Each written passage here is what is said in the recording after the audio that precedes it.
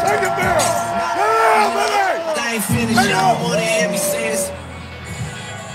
Then he decided to run clear across the field, tap everybody that was wearing a jersey on the back, give them high fives, got the emotion going, and then I have never seen this before.